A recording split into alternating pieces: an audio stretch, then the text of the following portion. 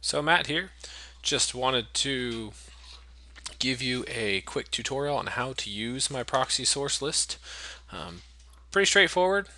All you're going to do is go down here to manage proxies and then hit harvest proxies and this is the new proxy harvester and then add source and I'm going to do from a file and I just have a, an example file here I made obviously it's not the actual list um, and so you're always going to see the internal sources that come with Scrapebox, and then just some, you know, generic domains that I threw in here just for the sake of it.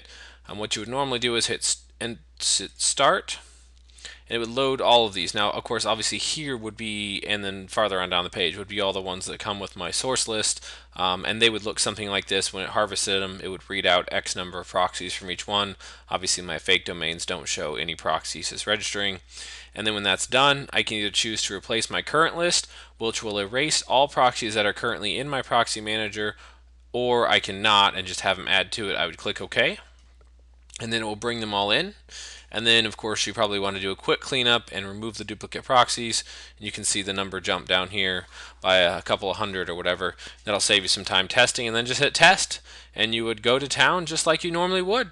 And it's as easy as that. You can harvest hundreds of fresh proxies that um, aren't being used by lots of other people and just get them over and over again every day, fresh new ones.